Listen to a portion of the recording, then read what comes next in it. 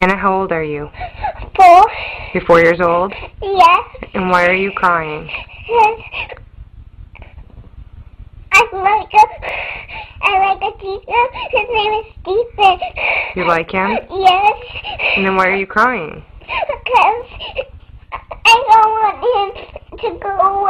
I don't want to go. You don't want to go and leave him?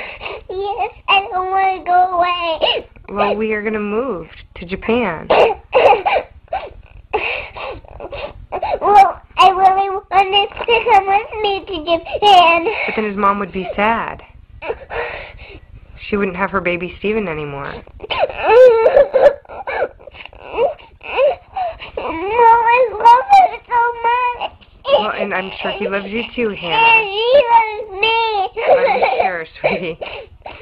And you're going to find lots of other boys to love too. Okay. I only like